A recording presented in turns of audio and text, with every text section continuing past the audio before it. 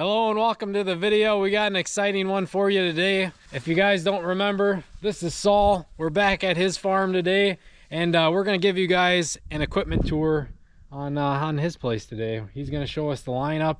I know uh, if some of you have watched the previous videos, you already got to see bits and pieces of the equipment that Saul and his family has, but we're gonna go through it all here today and hope you guys enjoy. Yeah, should be great. We got all kinds of old equipment laying around, so if you're into that stuff, great. If you're not, then that's unfortunate. Anyways, start off here. So we're in the barn here with the old John Deere, the 40.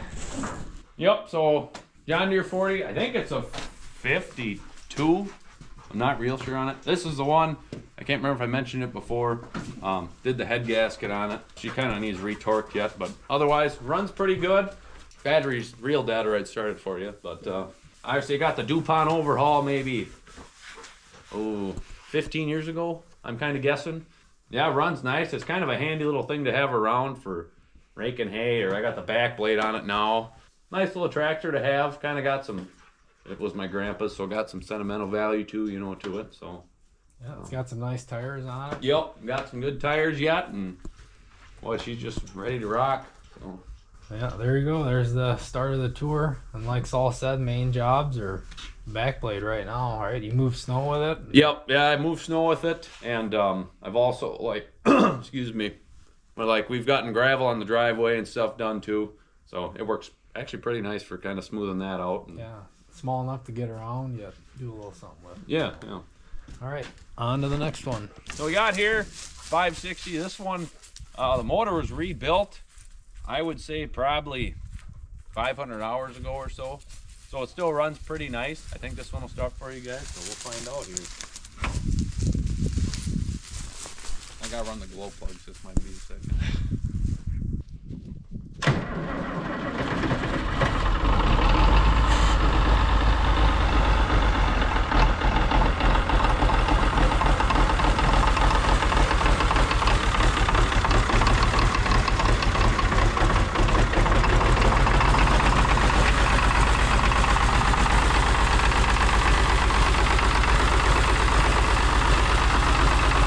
There we go.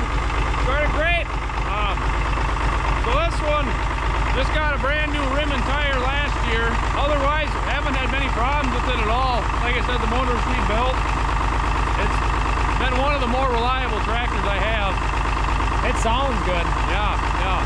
Like I haven't started it in probably a, good month, so that's pretty good. I think it was probably bought 10 years ago or so, and then at the time my grandfather owned it, and he put a uh, put the rebuilt engine in there. I, I really like that one. What, what were its main jobs back in the day, and then currently, what do you use it for? So back in the day, it was mostly for any kind of plowing, um, mowing hay. We didn't use it too much for baling because it sits a little low, so you get the windrow caught on the hitch and such.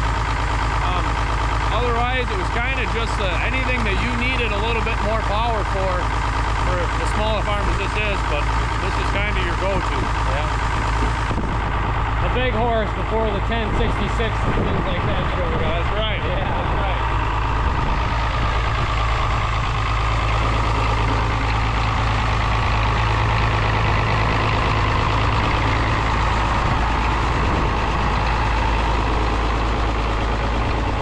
Is there uh, fluid in the tires, or is it just the, the weights? Just the, just the weight. There's no fluid in these, so I'm uh, I have no problem with that for kind of what this one's been used for. So.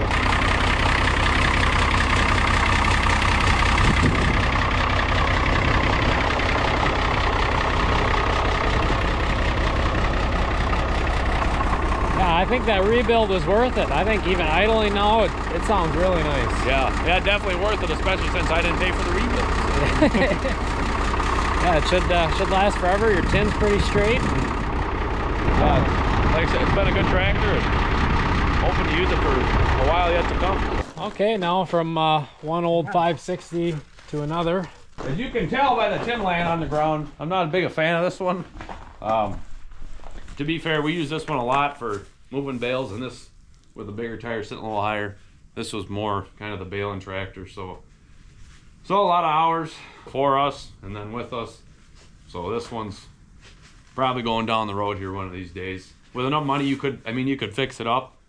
It's, uh, clutch has kind of got some problems, needs new brakes, glow plugs, kind of stuff like that. But, um, like I said, it's served us for a long time, but this one's probably going to get down the road here pretty soon. So you heard that. It's for sale. So, so reach out if you if you want to pay some good money for Yeah. an old tractor Yeah. here.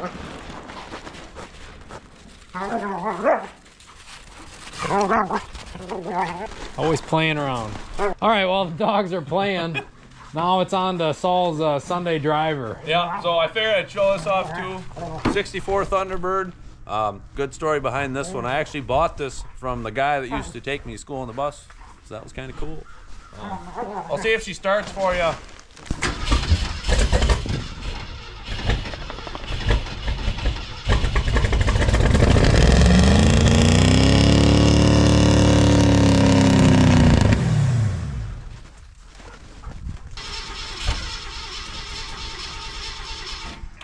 It's been hibernating for a while, as you can see.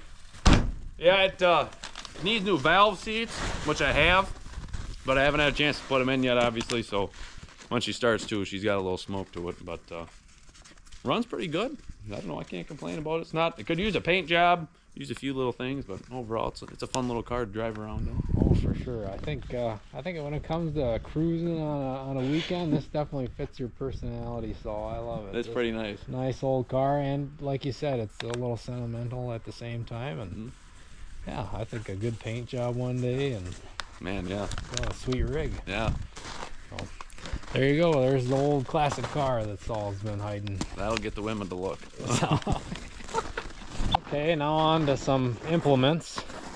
So here's the, the planter that I've been using here for the last few years. And um, actually, it's been a really nice planter, 494A. I'm working on getting it moved over to 30 inch rows. It was on 38s. And uh, that's kind of was a project late last fall, and I kind of dove into it here a little bit this winter. But uh, once once she thaws out and dries up a little bit, or I can get her get her in the yard and work on it, that'll be that'll be one of the projects. And uh, since we're on that subject, uh, we had a viewer reach out that's been uh, trying to get us to take a big trip up to Canada Yeah. to get a four-row narrow head, but that's a ways to go. Yeah. Truly honored to think, but uh, a little ways from here. Yeah, a lot, a lot of ways. I think it's, I think it's like a. Dogs are. I think it's like a 17 plus hour drive, and man, that's a that's a ways to justify going. But Yeah. Who knows? We'll see.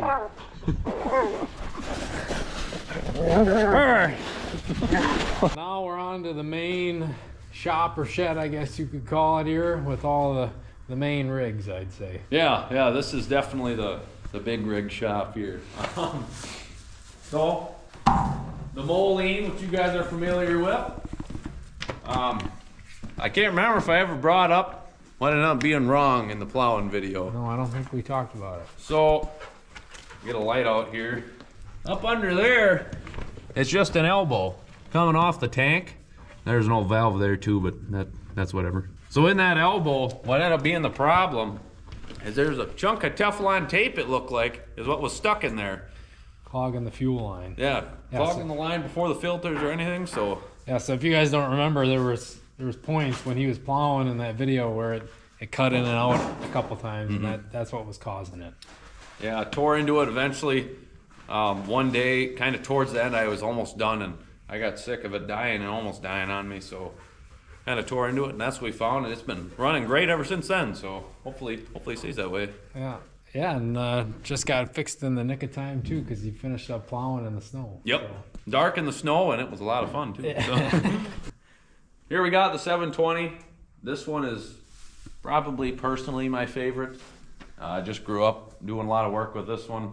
Anything from baling, raking, mowing hay, plowing, disking, any of that kind of stuff was done with this tractor.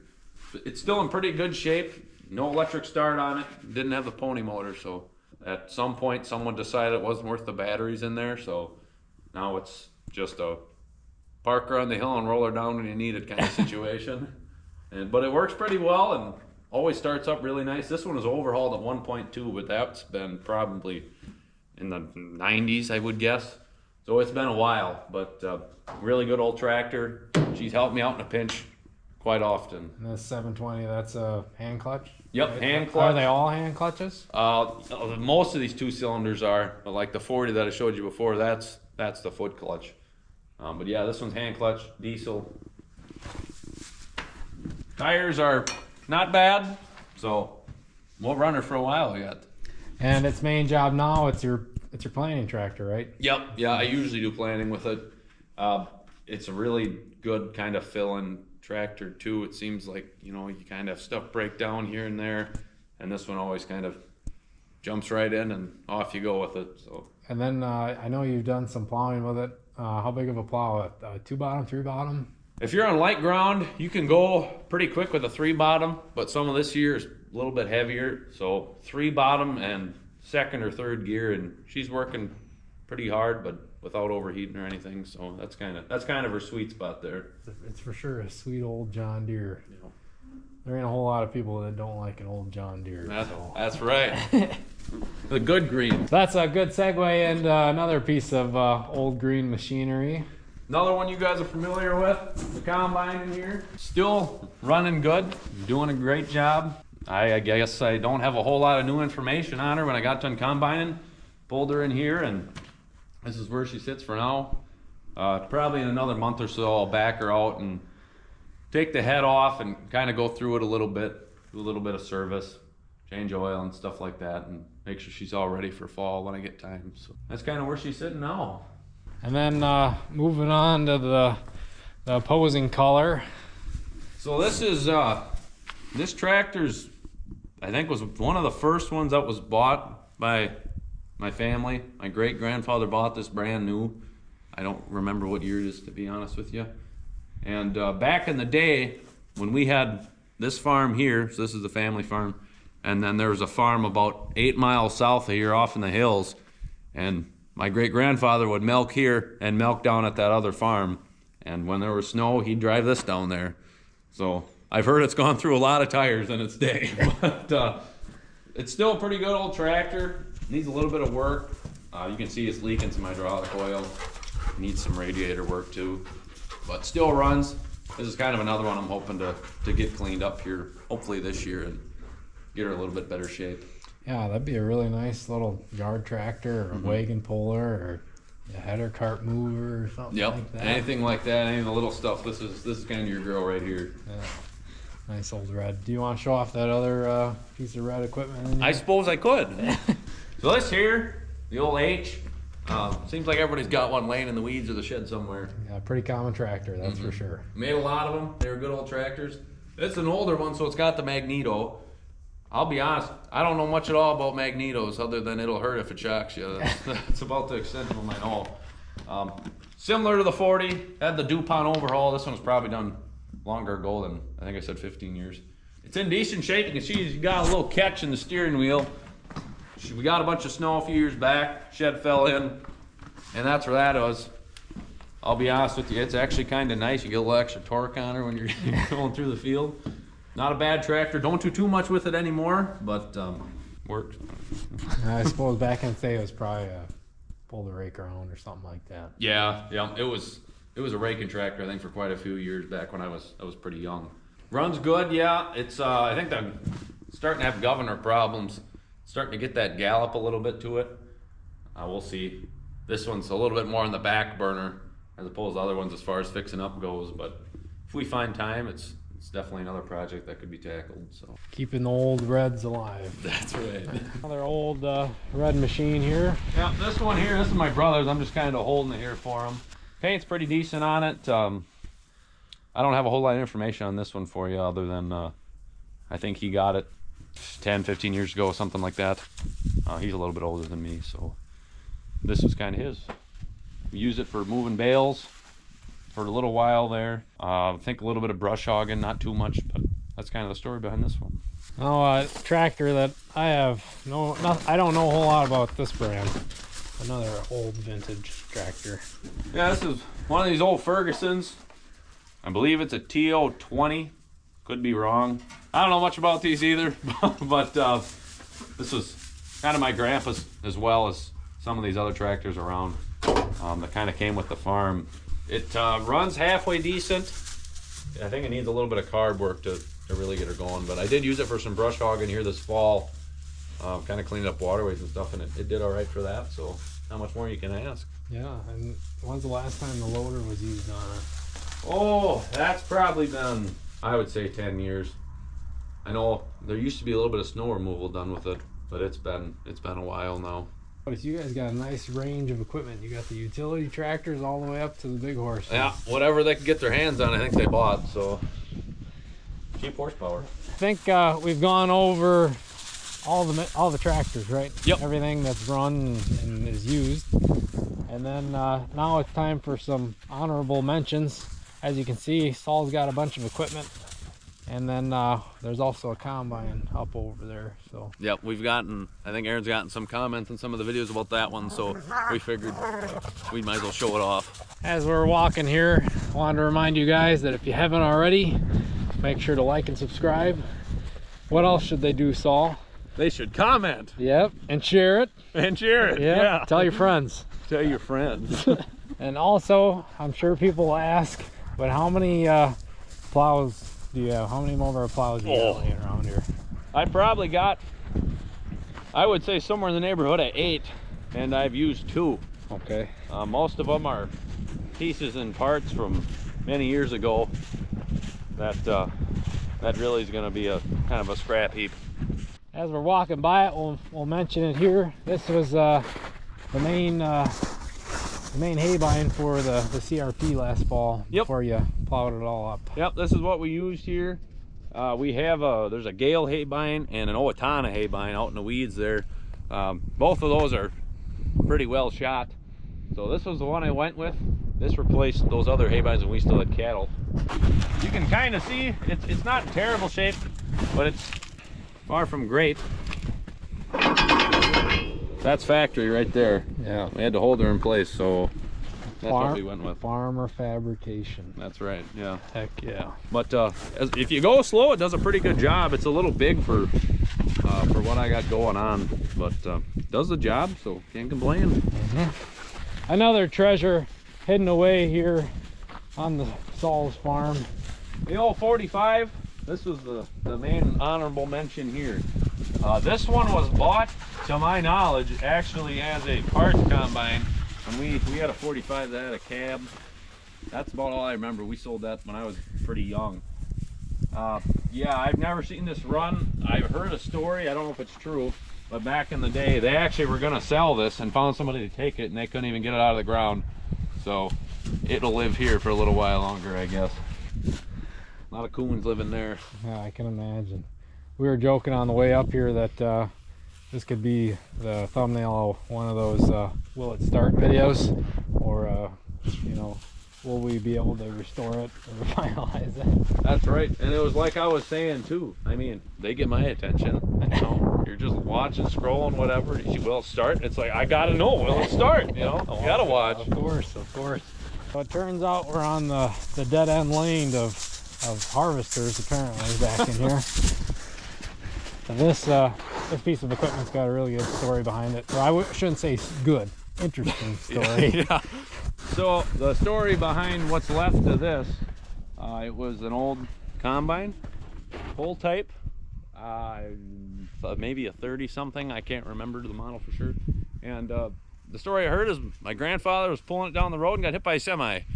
And uh, yeah, that that's how that left it. So But he was okay, right? he was okay. He he kind of had nine lives there, so it worked out kind of.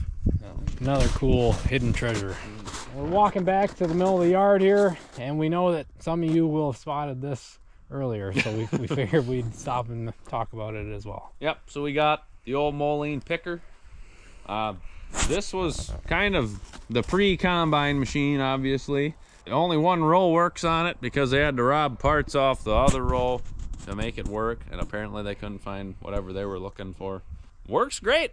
Takes the row in nice, and Um, it's been a couple of years now since I've used it, but Anyways, for a old corn picker that's that's sat outside, I think the paint and the tin, everything looks really nice on it. Yet. Mhm. yeah, it's it's not too bad a shape. You can see I had a bale kind of roll in the back of the spout there, but uh, minor details on that. Could you imagine this getting pulled by your uh, your mini Moline? Man, that'd make a pretty picture. I think that's for sure. Heck yeah, Look good. that'd be uh, calendar material. Yep, that's right. Hashtag bring the Moline picker back. Leave it in the comments. Yeah, Justice for Mason. All right, so that's gonna be it for the equipment tour. We didn't cover everything out here, but all the tractors you guys got and uh, some of the equipment. We want to thank Saul for letting us come out and show us what him and his family have put together over the years. It's one heck of a collection, one heck of a fleet, that's for sure. Yeah, there's a there's a lot lot to maintain, but And Right. then and then we also wanted to throw in that uh, if you guys are interested in seeing some of the buildings, Saul has been kind of cleaning them up and getting them ready to use again. So if you guys wanted to tour the the buildings and some history behind that, let us know down in the comments. yeah, we'll drop one later on about that if you guys are interested. So. Yeah. So thank you all for watching. Thanks again to Saul, and uh, make sure to check out all our other videos.